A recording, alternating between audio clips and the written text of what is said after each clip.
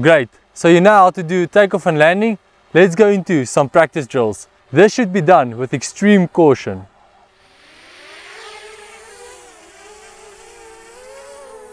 The figure of eight.